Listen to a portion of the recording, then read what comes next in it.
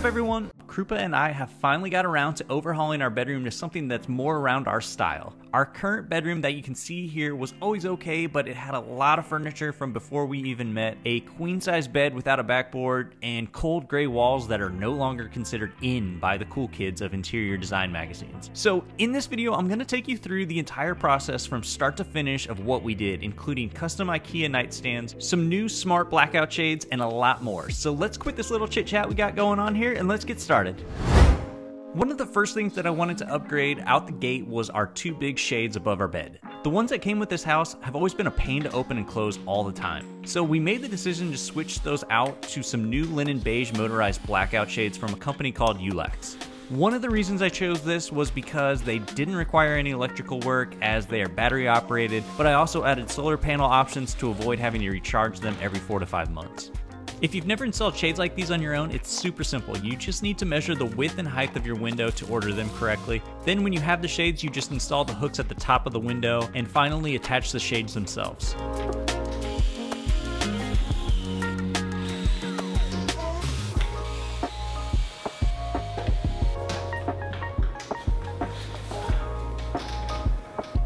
Again, you can also add solar panels as well, where you attach them to the window direct and then plug them into the motor via USB cable.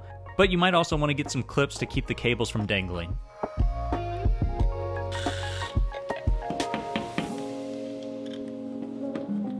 These are integrated with Alexa, which means I am able to set vocal commands to have them open and close, as well as my personal favorite, set them onto automated schedules. So, for example, having them open in the morning when our alarms go off and close at sunset. Also, with our bedroom being located upstairs, it's super nice to have blackout shades during the day when we're not in the room to block the summer sun from turning our room into a furnace.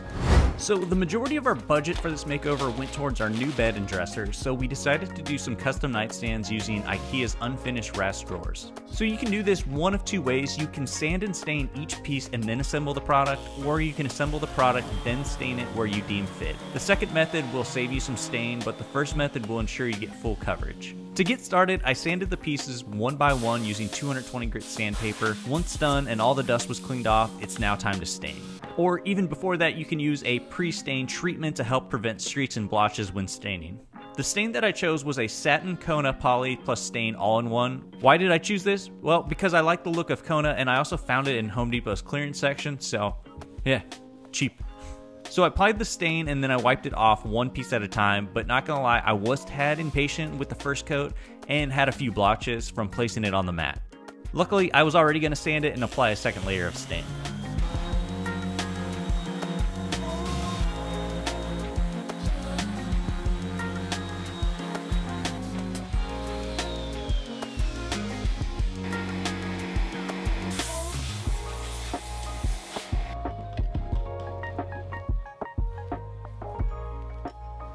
While we wait for these to dry, I want to give a huge shout out to today's sponsor, Botanium. I've gotten way more into plants since moving into our new home, and this may be one of my favorite new finds. Botanium is a self watering hydroponic planter, which put simply, it's an indoor planter that doesn't use soil and works by watering the plant every three hours. This was super easy to set up. I just had to add water, a few drops of the nutrients that was included, and planted the seeds into their growing medium, which is made of a porous stone to retain the moisture without draining the roots. So, for all of you that have sent countless plants to the grape, not naming any names, this is exactly what you need to try out. It works with most plants, but most people usually grow chili peppers, basil, or tomatoes with it. I'm personally trying out growing cucumbers for the first time with solid success in the time that I've had it. So, thanks again to Botanium for sponsoring today's video. Be sure to check them out down below to learn a little more about what they offer. With that said, I think the IKEA drawers are finally ready for the next steps. Now that the pieces are dry, the next thing to do is to assemble the nightstands together before customizing these even further with cane webbing and drawer handles.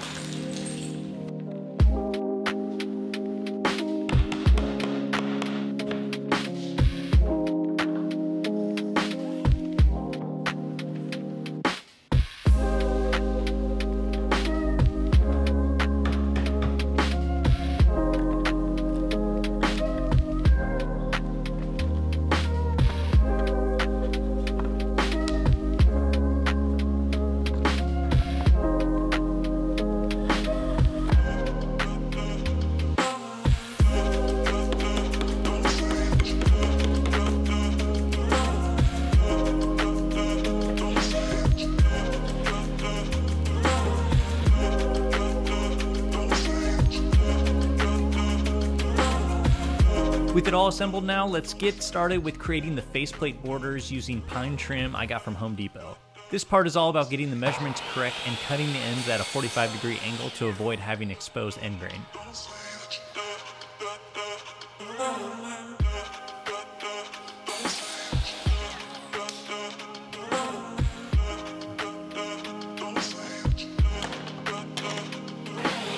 This next step may depend on how you want to do this and what equipment you have available. I wanted the cane webbing to be under the borders without the wood tilting up over it as it would definitely be noticeable due to the thickness of the cane material. So what I did was I used a table saw to cut a groove out of the edge of the wood. The height of the cut and how far you take it in just depends on where you plan to staple the material to the drawers. I ended up doing a little trial and error with this and eventually made it about a half inch groove.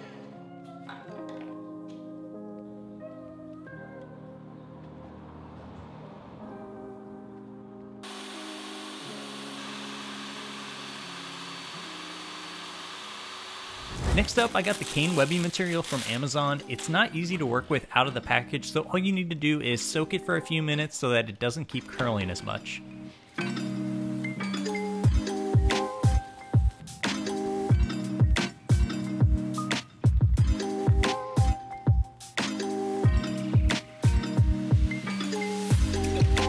While that is happening, I wanted an easy way to cut each piece, so I grabbed some leftover cardboard and cut out a template so that each piece will be the exact same.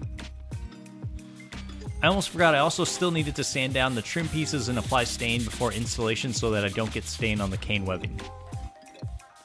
While those dry, I moved on to cutting the cane pieces and then trimming off the excess.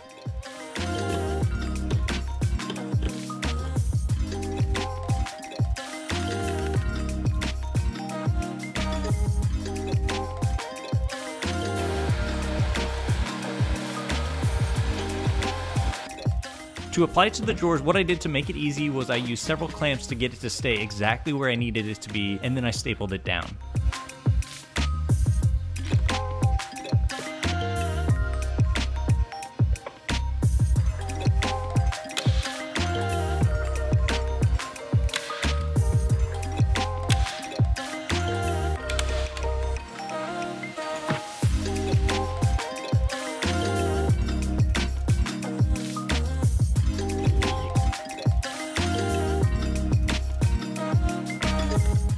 I then used the clamps to assemble the trim onto the drawers to ensure it all fit well together. Once I knew each piece was good, I'd remove one piece at a time, add wood glue, reapply it, and then brad nail it back on.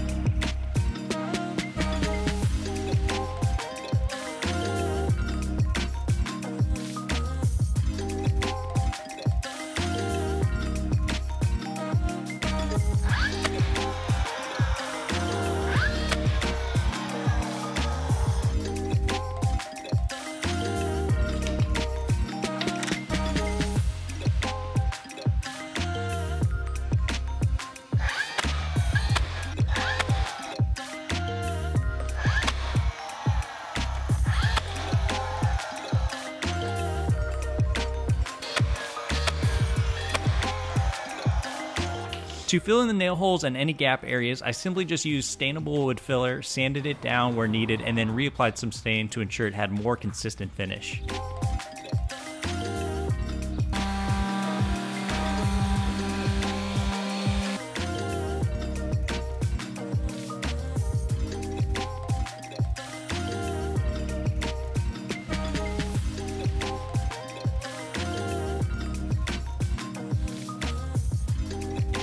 After finishing up the trim, I had one last piece to add, which is the black handle for each drawer to make it easier to open and then give it a more finished look.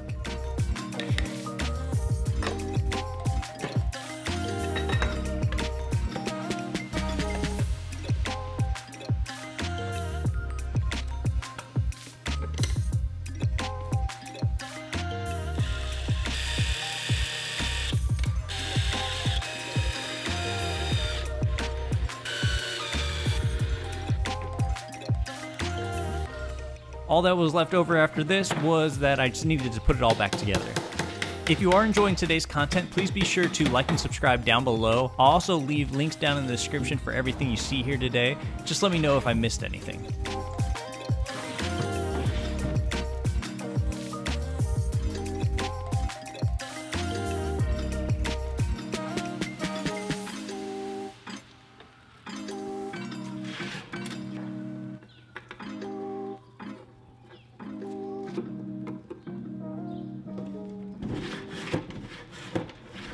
A bedroom makeover isn't complete without a fresh coat of paint. So let's get everything out of the room and get this bed listed on Marketplace. Being 6 foot 3, I have been waiting so long to upgrade to a king size bed. So getting rid of this one was the easiest thing I've ever done. Except for the fact that I carried the mattress down by myself because Krupa was on the phone with her cousin Kevin the entire time. Yeah, I haven't forgotten him.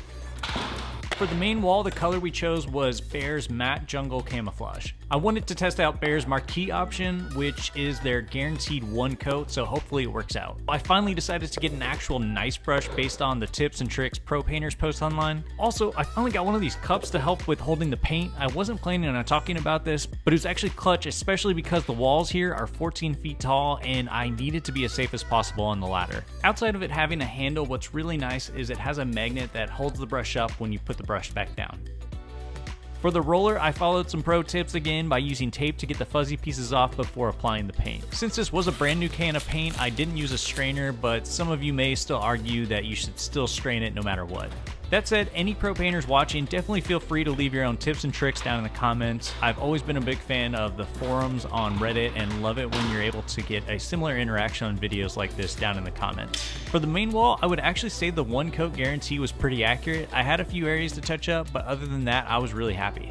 Another pro tip here is that you want to remove the tape soon after you're done coating your wall. It definitely gives you cleaner lines and less chance of paint tears. For the other walls, we went with Behr's Lively White. I don't know all the restrictions to Behr's one coat guarantee, but I will say for this specific color, it definitely needed more than one coat. But honestly, I do prefer knowing that two coats were applied so that any human error gets fixed.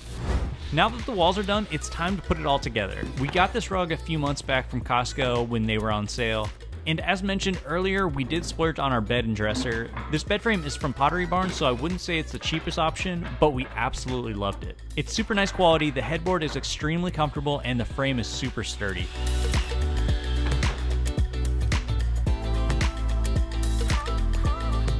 For our sheets, we went with Brooklinen because we wanted a higher quality option without it being super overly priced like some of the other options we saw. I'll leave links to most of the other items you see here, but basically we got most of these from various places, such as Target, Home Goods, and online options. I did a video not too long ago covering the desk area, which is why I didn't really cover that today. So if you're interested, be sure to check that one out after this. With everything now in place, let's check out the before and after.